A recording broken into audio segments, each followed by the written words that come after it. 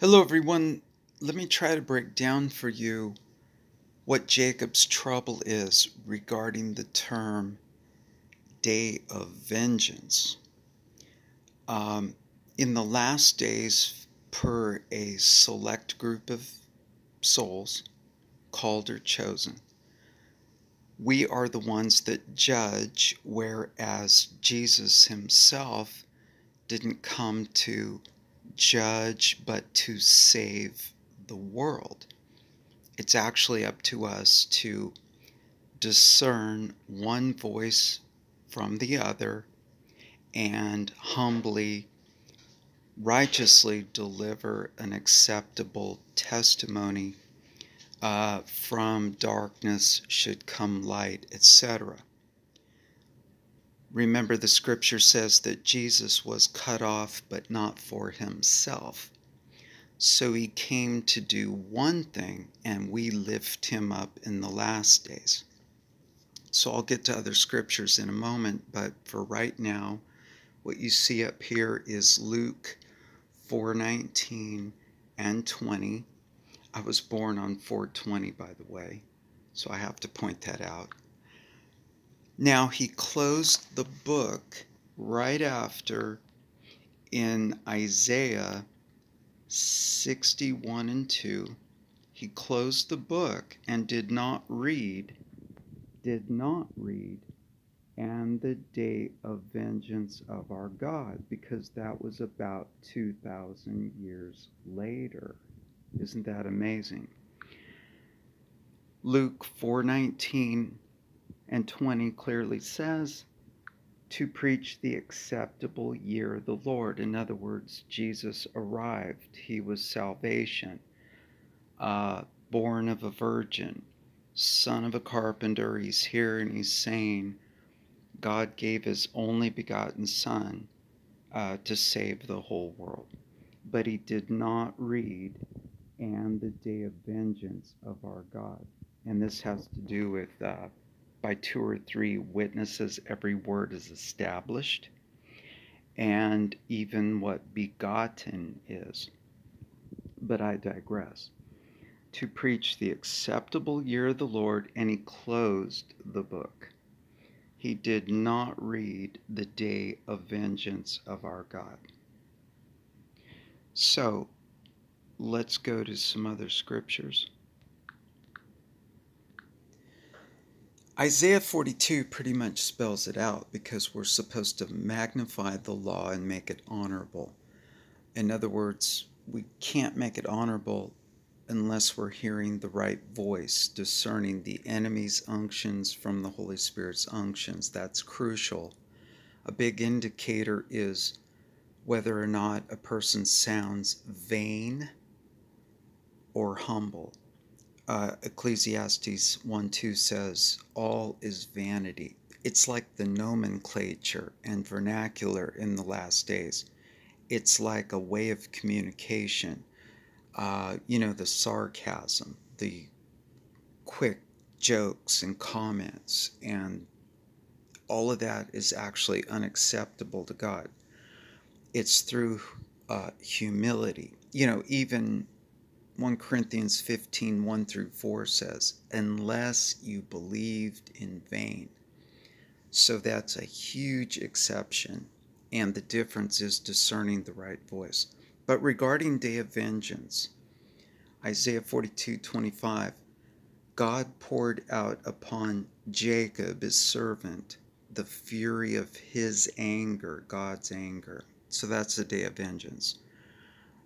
We're here to declare it's a loveless world. We don't want the flesh. We hate technology. We hate what the enemy is has done or is doing. And we're just declaring set apart from the world and staying set apart joyfully enough that uh, we're in agreement with God that we do not want a basically loveless world world of pretense, etc., etc., etc. But he gave us the strength of battle. It set him on fire round about Jacob, but he knew it not. It burned him, and he laid it not to heart. That means we didn't get the job, we didn't finish college, the spouse divorced us, we were addicted, we ended up in jail, a mental hospital, you name it. And this also refers to Jacob's trouble in Jeremiah 36 and 7, if you could receive it. But if we keep his word, we'll be saved out of Jacob's trouble. See Revelation 3:10. So, who was blind but my servant? Remember, light should shine out of darkness. 2 Corinthians 4 6. Uh, and deaf is my messenger that I sent. He that is perfect and blind is the Lord's servant, seeing many things, but he observes it not, opening the ears, but he heareth not. Although we are supposed to hear from the Holy Spirit. But the trouble is, it could be the enemy, or is it the enemy? Is it the Holy Spirit? You, you got to uh, do the word, attest every spirit, 1 John 4 1, etc uh, again, this gets back to Genesis 3:15. There's enmity between the seeds, the devil's voice and the Holy Spirit's voice. That's all in Genesis 3:15, and that's why the whole Bible's written in the form of a question because the devil told Eve, "Oh, did God say?" When the devil wants to be God, and if the devil ends up being God, then eating from the tree of the knowledge of good and evil is becomes, you know, okay. See Isaiah 14 14, because the enemy said in his heart he wants to be God. So that's why he said to Eve, Oh, did God say? Because the devil could have went on to say, Because I'm going to be God. So therefore refuting or annulling what God told Eve uh, in the first place. But the prophecy here is, and read Romans 4:17, uh, that the Lord is well pleased for His righteousness' sake. So we're so we're supposed to walk in these righteous good works because God is glorified in His saints ultimately. And I think that's Ephesians 1:10. I'm not sure. He will magnify the law and make it honorable. You can also see this in Romans 3:31, which says, "Do we then make void the law through faith? God forbid. Yea, we establish the law." So remember when they said, uh, Give us Barabbas, crucify Jesus, let the curse be on us and our children. So we're all guilty. Our forefathers are guilty of crucifying Jesus. So in Exodus 34 7, keeping mercy for thousands, forgiving iniquity and transgression and sin and that will by no means clear the guilty, visiting the iniquity of the fathers upon the children and upon the children's children unto the third and fourth generation. So that's the select group of called or chosen, or Jacob, if you will, to overcome the enemy and actually distinguish God's voice, the Holy Spirit's voice, from the enemy's voice. And that group of people, it was it was not guaranteed that they would be righteous, holy, or humble, but that was going to be the battle in the last days, and that's why the Bible is written in question form. Instead of God saying, I will, you know, it's will I. So if you can receive it, we suffer with Christ, carry our cross. We're not only co heirs, but co saviors. Uh, that's Isaiah 49 6, that's Obadiah 121 and elsewhere. And it's also why Romans 11 15 reads, For if the casting away of them be the reconciling of the world, what shall the receiving of them be but life from the dead? Well, if we're the dead in Christ, we're with God in spirit, also sifted by the enemy, overcoming, and then that first group of glorified saints escaping uh, the day of the Lord, the earliest part of Great Tribulation, will end up being glorified and coming back into the harvest, doing the greater works, raising the dead. Uh, but those are the wise virgins escaping uh, with an actual literal rapture happening happening about a hundred days later, as I understand it. So, for if the casting away of them be the reconciling of the world, we're the ministers of reconciliation to Corinthians 5 18 and 19, and casting away of them refers to Jeremiah 29 uh, 10 through 14.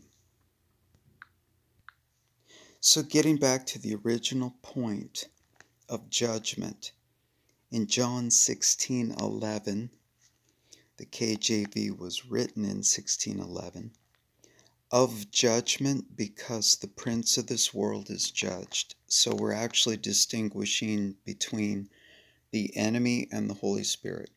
Do we really want our flesh or do we worship God in spirit and in truth? I have yet many things to say unto you, but you cannot bear them now. So we were going to bear them later once Jesus was crucified and then came to us through the Holy Spirit.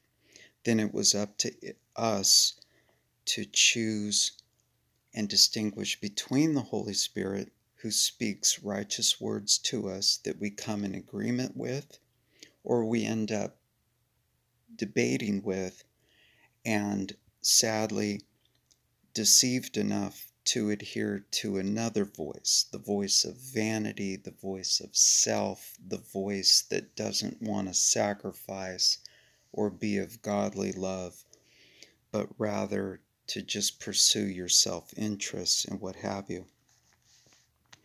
Howbeit, when he, the Spirit of truth, is come, he will guide you into all truth. For he shall not speak of himself, but whatever he shall hear, that shall he speak, and he shall show you things to come.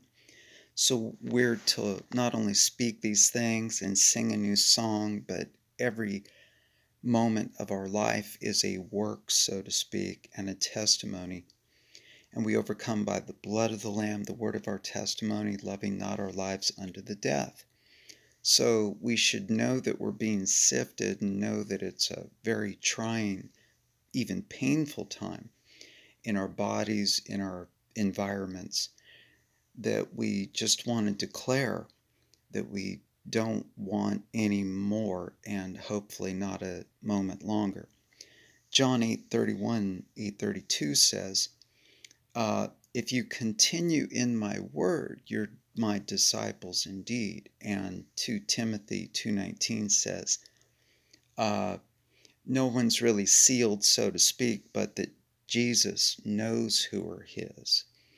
And then they spoke often one to another, and a book of remembrance was recorded. That would be Malachi 3:16. That's not speaking to your, you know, your best pal in the world. That's actually referring to uh, coming into agreement with the Holy Spirit and the Holy Spirit's voice. So Jesus said, You cannot bear them now. So 2,000 years later, at the day of vengeance, we bear them. Um, John 12 47. And if any man hear my words and believe not, I judge him not, for I came not to judge the world, but to save the world. So we're the ones that judge. In John 12:48 He that rejecteth me and receiveth not my words hath one that judgeth him. In other words, one, we become one with Jesus, one with the Holy Spirit. We confirm the word as a witness. The word that I have spoken, the same. So that's making the word, confirming the word as a witness. The same uh, parenthetically would be word, shall judge him in the last day. But the scripture only says, the same shall judge him in the last day. Uh, more clearly written, it might say, the same word shall judge him in the last day. So we're the ones that during the time of Jacob's trouble, 2,000 years later, once he closed the book, during the day of vengeance, uh, we come into agreement with the Holy Spirit's voice. By two or three witnesses, the word is established. When we establish that word, the same word shall judge.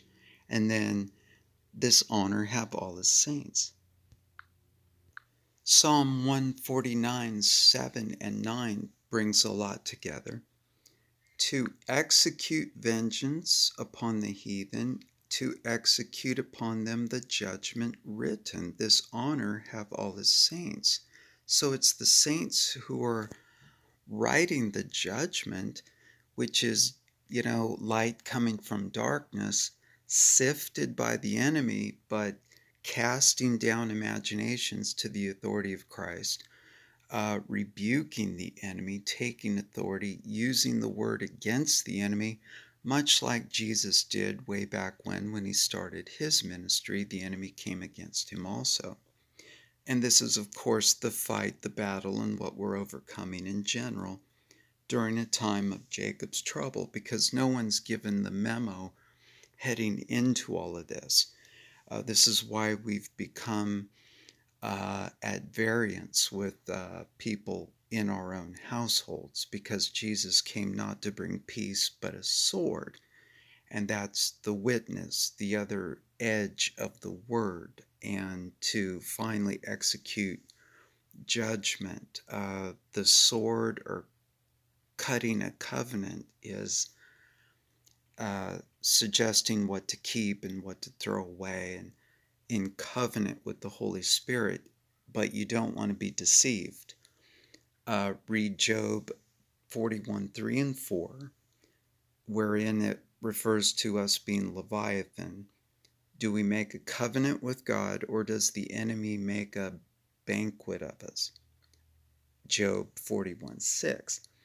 And it's just a very pivotal thing whether or not you prefer to be sacrificial or uh, full of self, but through pretense, you might even deceive yourself. And uh, a good way to look at it is vanity versus humility, a very big indication. Let's also look at Romans 6:16 Know ye not that to whom ye yield yourselves servants to obey, his servants you are to whom you obey, whether of sin unto death, and that would be the enemy's voice, or of obedience unto righteousness, and that's uh, not giving into the flesh and wanting to hear the Holy Spirit's voice and then of course that goes on to Romans 6:21 where we have our fruit unto holiness. And without holiness no one will see the Lord. Now on a par with Exodus 34 7, where the iniquity of the fathers are going to be visited upon the children. Uh, Isaiah 43 26 through 28 comes to mind. Now, our sins will be white as snow, and they're meant to be blotted out, but we've got to keep the devil at bay constantly. It's always there ready to tempt and hurt us, but we got to constantly walk on a narrow path if we can find it at all. So faith is something that has to be justified. And that's what makes it faith, is that it's put to the test. Because you can't sit down and think real hard and believe and call that a work or a righteous work. Though the KJV uses the word believe, it's really trust in the Hebrew understanding. So your trust is tested or just justified. Put me in remembrance, let us plead together. That's the witnessing. That's 2 Corinthians 13 1 again. Malachi 3.16. Uh, declare thou that thou mayest be justified, that your faith may be justified. Thy first father hath sinned, and thy teachers, that would be the enemy, that was supposed to show us right from wrong, but fell from heaven, and that's this fallen world. The teachers transgressed against God, me.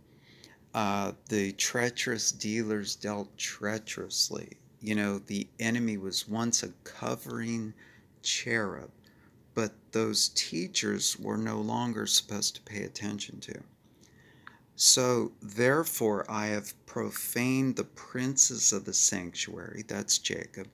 I have given Jacob to the curse, uh, crucifying Christ to begin with, and Israel to reproaches. In other words, we hit the road, we were cast away, we were at enmity or variance with members of our own family, doors closed, God divorced, uh, addicted to this or that but we're supposed to count it all joy, rise above it, and say, Devil, whatever. You know, Jesus has got me no matter what the world thinks of me. So we were profaned, uh, given to the curse, and uh, we're, we're wrestling as Jacob, trying to be real or Israel, ultimately glorified.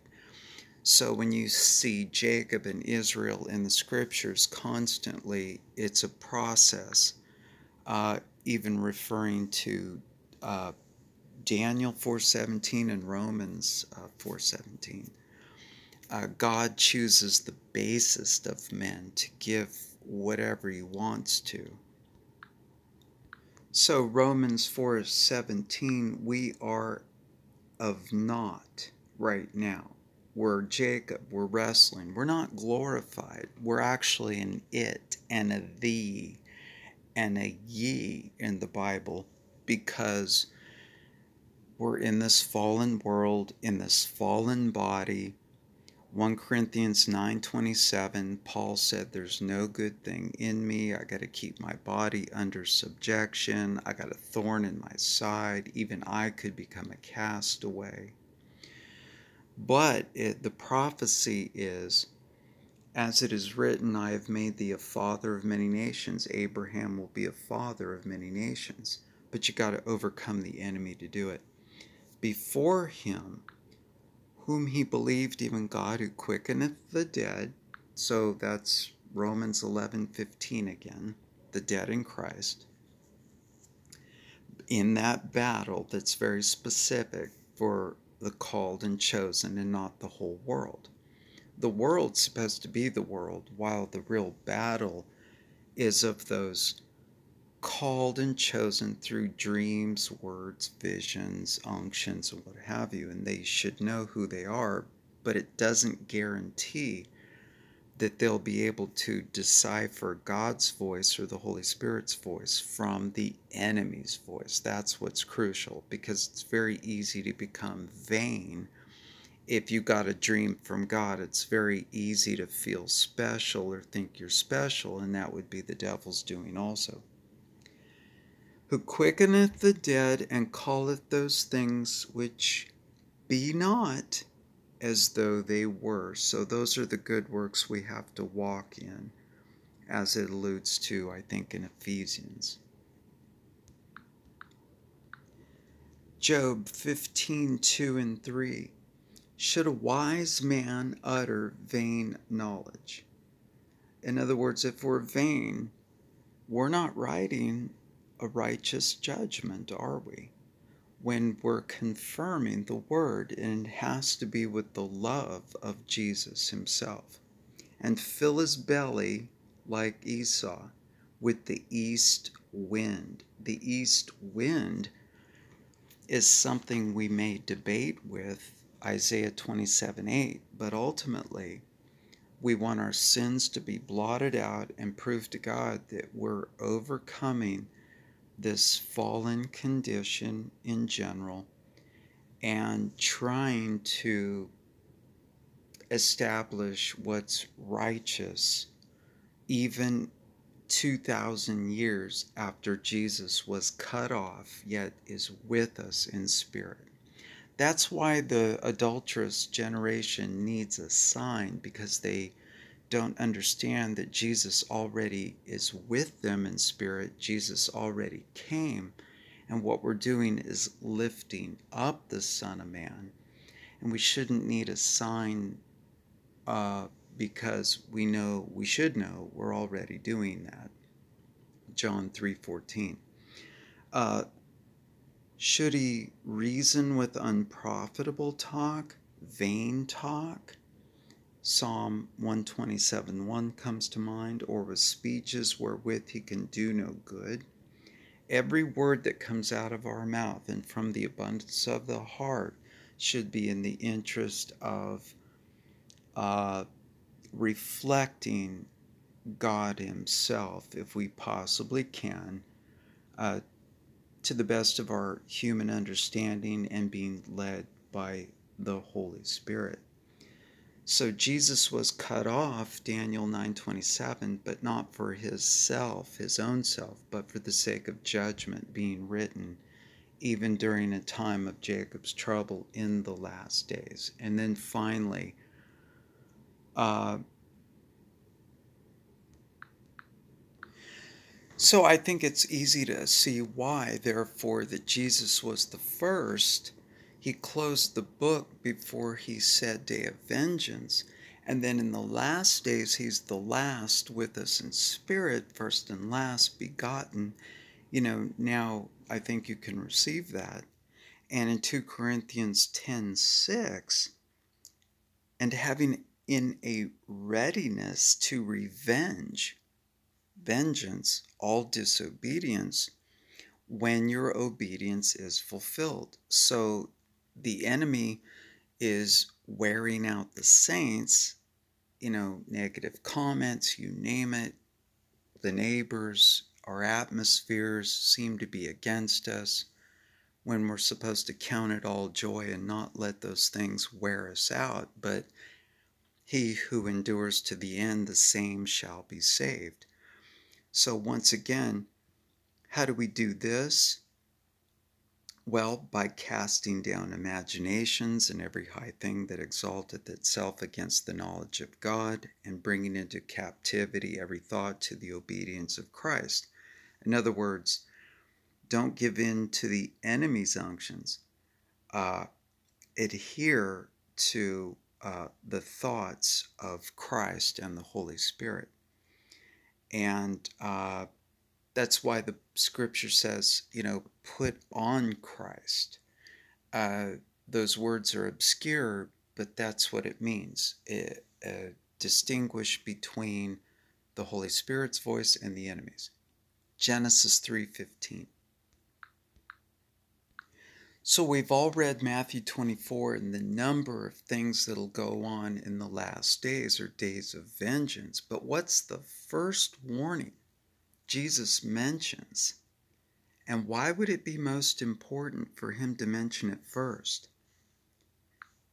Matthew 24 4 Take heed that no man deceive you. See, that's the enemy's voice once again. Well, who's going to deceive you?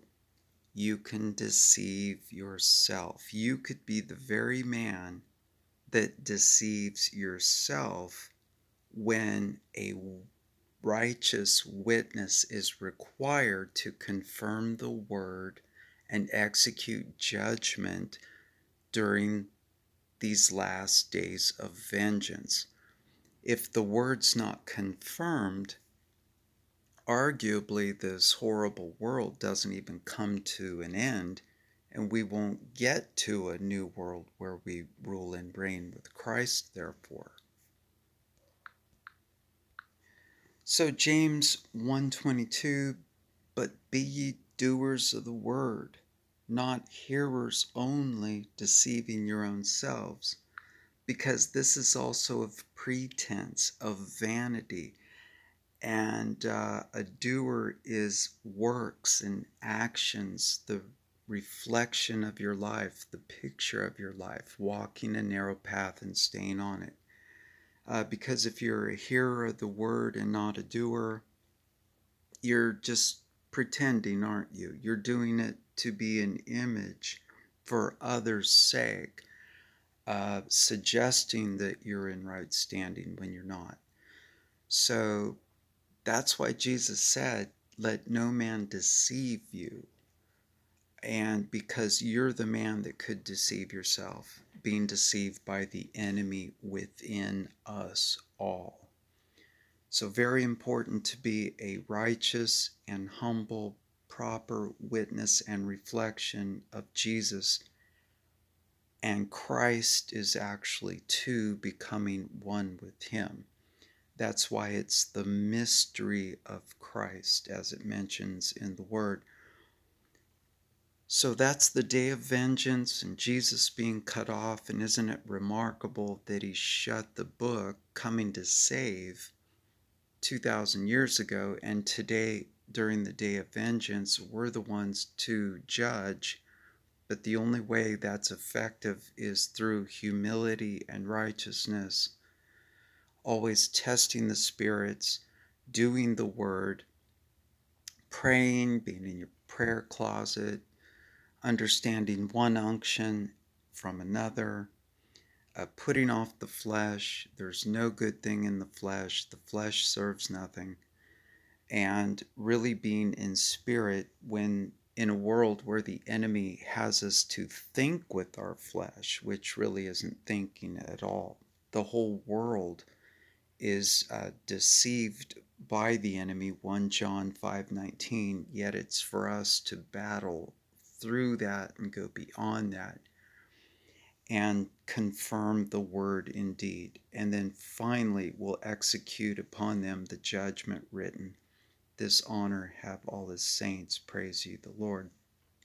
And now you have the basis to discern all the other scriptures where it seems obscure and vague, but now you've got the basic understanding of what all the other scriptures are going to refer to.